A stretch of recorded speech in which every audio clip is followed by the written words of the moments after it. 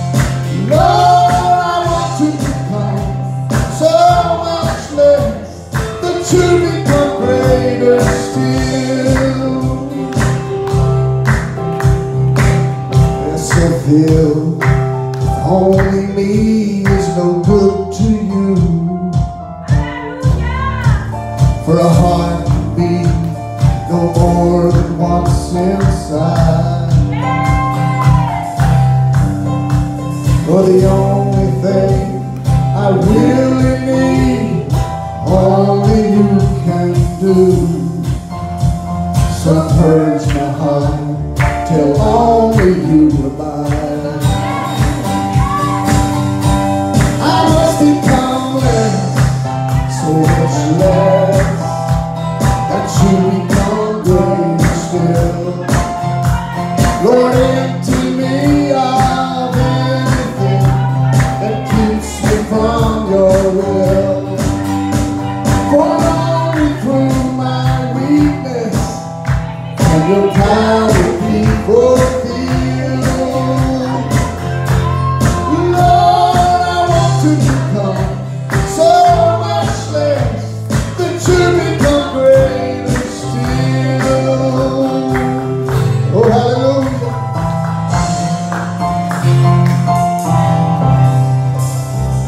Thank you, Jesus. Hallelujah.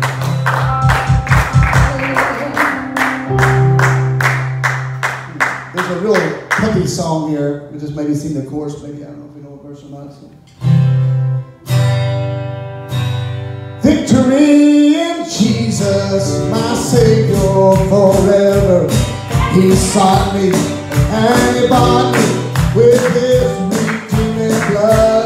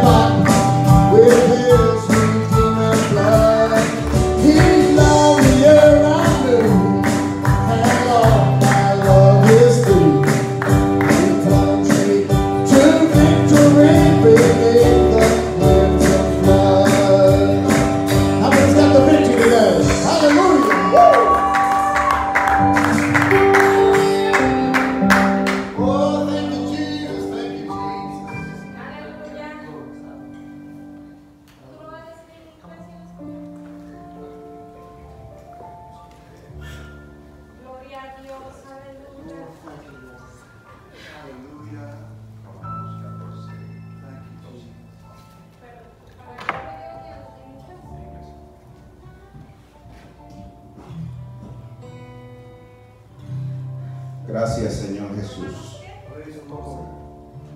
14. 12. Aleluya. Thank you, Lord Jesus Christ. ¿Cuántos están contentos en la casa? Están en la casa de Dios.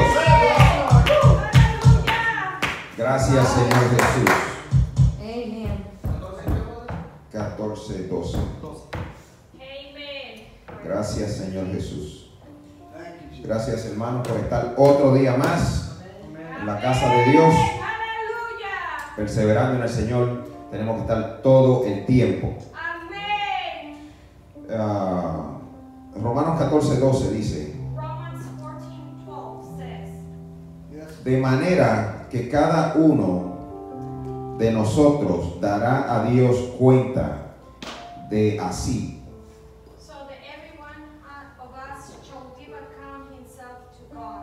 Así que ya no nos juzguemos más los unos a los otros, sino más bien decir no poder, no, no poner tropiezo uno ocasión, una ocasión de caer al mar, al hermano.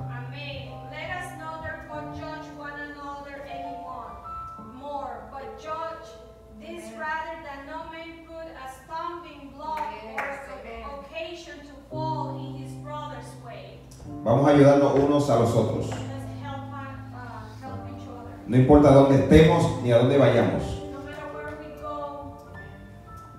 Tenemos que estar perseverando en el Señor y orar unos con otros todo el tiempo. Nosotros no estamos peleando con nosotros mismos. El diablo está peleando porque las almas de nosotros no se congreguen en alguna iglesia. Nosotros no estamos unos pelea- peleando con otro, digo de nuevo. Es el diablo que no quiere que nosotros seamos salvos. El diablo quiere que en aquel día nosotros seamos juzgados y seamos enviados a ese tormento, a ese sitio donde Él pueda reír y gozarse de lo que nosotros hicimos en este mundo. Por eso es que tenemos que orar por los hermanos que, que- que no van a la iglesia, que no pueden venir a la iglesia, que se han ah, decidido coger otro rumbo. Tenemos que bendecirlos y orar toda- todo el tiempo por ellos. La competencia no somos nosotros. Dios nos puso aquí con un propósito para salvar almas. No es para hacer números. No es para hacer dinero. No es para coger posición. No. Para nosotros vernos bien. No es para nosotros ser famosos. La posición de nosotros en este mundo es, es salvar almas. Las personas que, si, si usted está para hacer números, o sea, hacer posición en su vida, tarde o temprano, usted va a tener su castigo. Usted tiene que tener temor de Dios. Usted no puede ser elocuente en la palabra del Señor Jesucristo. Usted no puede hablar bonito. Speak uh, nice. La gente se va a emocionar cuando usted habla bonito. Pero las emociones no lo va a llevar al cielo. Lo que lo va a llevar al cielo es perseverancia en el Señor y creer en el Señor Jesucristo. Eso es lo único que nosotros tenemos que estar todo el tiempo perseverando en el Señor Jesús y orar por nuestros hermanos. Porque usted no es mi enemigo. Because you're not my enemy. Usted es mi hermano en el Señor Jesús. You are my brother in Jesus' Yes. name. No importa dónde usted esté o dónde usted Doesn't vaya. matter where you go. Lo, lo- lo- lo que no- lo que nos interesa a nosotros es que nosotros seamos salvos. The- my interest in is to be saved. Yo oro por todas esas personas que conozco I y- pray for all those that we all know. a lo mejor no compartimos los mismos, las mismas ideas. En ocasiones a lo mejor usted, eh, usted cuando creció vivió con cosas necesarias que a mí me sobraron. De esa manera, pues, pues, de esa manera yo soy a, a lo mejor hoy día. A lo mejor yo tuve en abundancia lo que a usted le faltó. A lo mejor usted, usted tuvo en abundancia lo que a mí me falta. Pero eso es lo que, para eso es que el Señor nos pone juntos, para que nos ayudemos mutuamente That's why God put us together to help us y nos, y nos alimentemos en la palabra del Señor Jesús and we grow in the word of y podamos crecer juntos. And we Yes. can grow together. En Jesús. Gracias al Señor Jesús.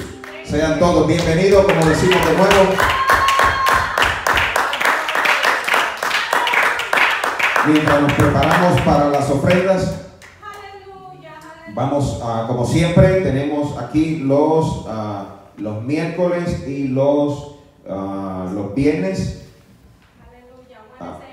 Wednesdays and Fridays. We're going to start something different. Vamos a empezar algo diferente. Eh, tengo a un pastor que nos va, que nos va a estar ayudando en crecimiento y vamos a estar empezando eh, casas eh, como casas de paz, casas, reuniones en las casas. Voy a estar dando más detalle de eso. Eh, vamos-